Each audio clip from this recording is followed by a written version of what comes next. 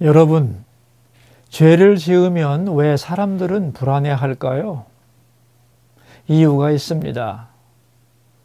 먼저는 상대방이 나에게 원한을 가지기 때문입니다. 둘째는 자기 양심이 자기를 고발하기 때문입니다.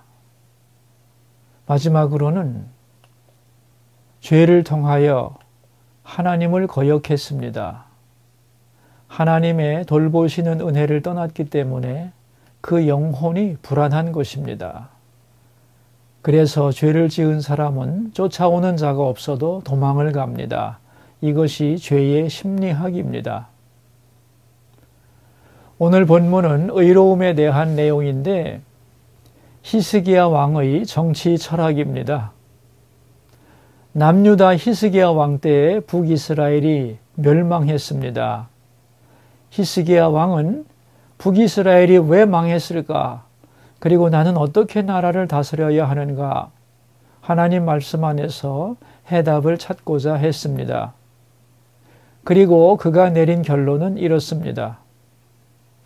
나라가 왜 망했을까? 의의가 없기 때문에 망한 것이다. 그렇다면 의의가 없던 왕들의 모습은 어떠했는가? 쫓아오는 자가 없어도 도망쳤습니다. 누가 나를 죽이지 않을까 늘 두려워했습니다. 그래서 북이스라엘은 200년도 안 되었는데 아홉 번이나 왕조가 바뀌었습니다. 그렇다면 그들이 의를 잃어버린 증거는 무엇인가? 하나님의 율법을 버렸습니다. 그 결과 두려움에 쫓기는 사람이 되었고 왕의 권위는 무너졌습니다. 그래서 수없는 사람들이 왕권에 도전했습니다. 나라가 약해진 것이지요. 그렇다면 나는 어떻게 통치하여 나라를 안정시키고 왕권을 견고하게 할 것인가? 그는 결심합니다. 의롭게 통치하리라. 하나님의 율법을 잘 지키리라. 그럴 때 나는 담대해지고 나라는 견고할 것이다. 이것이 히스기야 왕이 깨달은 말씀이고 오늘 우리에게 주시는 하나님의 말씀입니다. 본문에서는 세 가지 내용을 다루게 되는데요. 첫째는 모든 관계에는 무엇이 있어야 하는가? 둘째는 의로움이란 얼마나 중요한 것인가?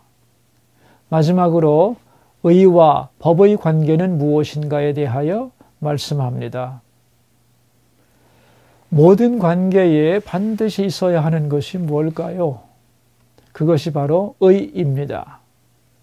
우리는 의라고 하면 착한 일, 좋은 일을 하는 것을 생각하는데 더 근본적인 의미는 마땅한 관계, 올바른 관계가 의입니다. 그러므로 부부 간에도 의가 필요하고 부모와 자녀 간에도 의가 필요합니다. 왕과 백성 사이에도 그리고 하나님과 인간 사이에도 의가 필요합니다.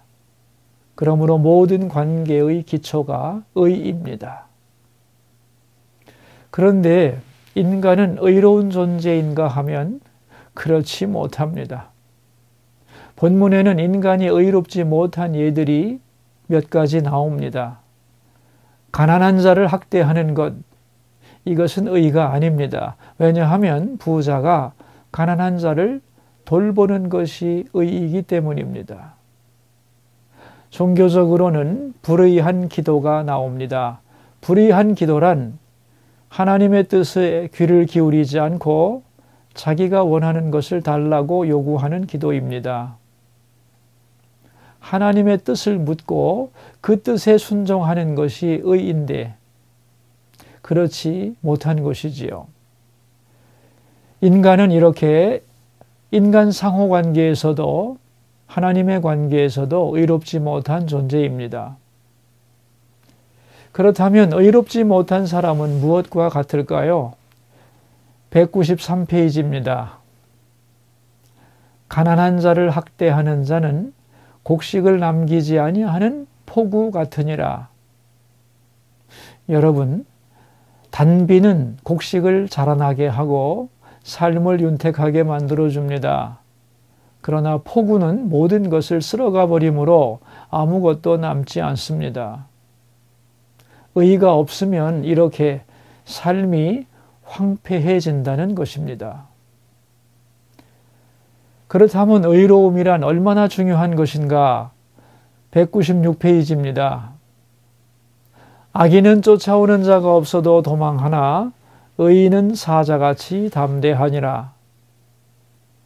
악인은 쫓아오는 자가 없어도 도망합니다. 정신적으로 아주 나약하고 두려움에 붙들려 살아간다는 것입니다. 그러나 의인은 담대합니다. 왜 그럴까요? 담대함의 근거가 의로움이기 때문입니다.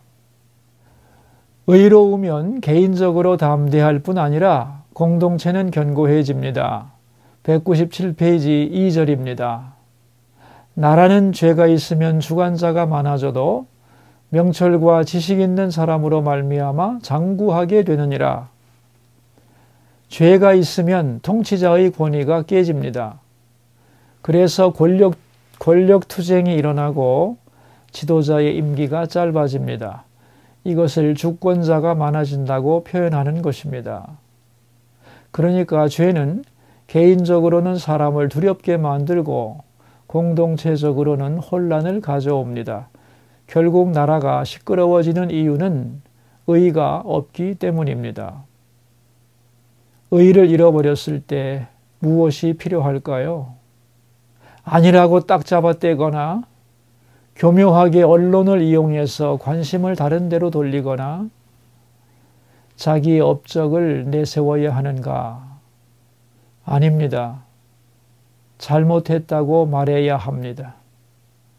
이것이 무너진 의를 회복하는 길입니다.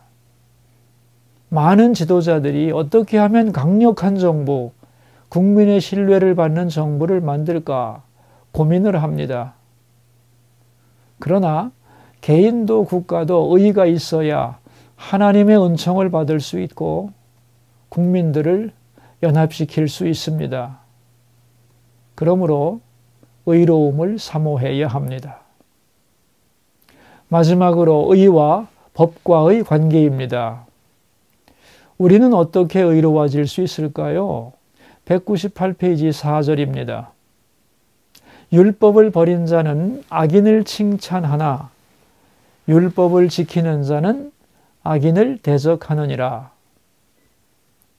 의를 유지하고 보존하기 위해서 만든 것이 법입니다. 그러므로 법은 의를 지키기 위한 마지막 보루이며 가이드라인입니다. 그러므로 법을 만들었으면 잘 지켜야 합니다. 그런데 지키지 않습니다. 그래서 의가 무너지는 것입니다. 의로움이 이렇게 중요한 것인데 왜 사람들은 의를 잃어버릴까요? 욕심 때문입니다. 의로운가 불의한가 무엇이 선이고 무엇이 악인가 이런 것이 기준이 되어야 하는데 이익을 먼저 생각하면 의를 잃어버리게 됩니다. 그런데 내가 의로움을 잃었다는 것을 인정하고 싶지도 않습니다. 그래서 하는 일이 악인을 칭찬합니다. 그러나 율법을 지키는 자는 악인을 대적합니다. 왜냐하면 하나님의 율법은 악을 악이라 하고 선을 선이라고 말씀하기 때문입니다. 또한 하나님의 말씀은 빛이기 때문에 말씀을 붙들면 어둠이 사라집니다. 그래서 선악을 분별할 수 있습니다. 더 나아가서 하나님 말씀은 악과 싸울 힘과 용기를 줍니다. 그래서 율법을 지키면 악인을 대적할 수 있습니다. 우리는 미래를 알 수 없고 그래서 늘 불안하고 두려울 때가 많습니다. 어떻게 우리가 담대할 수 있을까요? 하나님을 의지하고 그 말씀을 붙잡는 것입니다. 그럴 때 우리는 사자처럼 담대할 수 있습니다. 이 은혜가 여러분과 늘 함께 하시기를 바랍니다. 기도하겠습니다. 두려움이 많고 불안한 우리를 주 안에서 담대하게 하소서. 모든 관계에서 의를 추구하게 하시고 불의에 빠져 두려워하거나 권위를 잃지 않게 하소서. 의를 지키기 위해 만든 법을 잘 지키게 하시고 선악을 분별하는 분별력을 주시고 악과 싸울 힘을 우리에게 부어 주소서. 예수님의 이름으로 기도합니다. 아멘.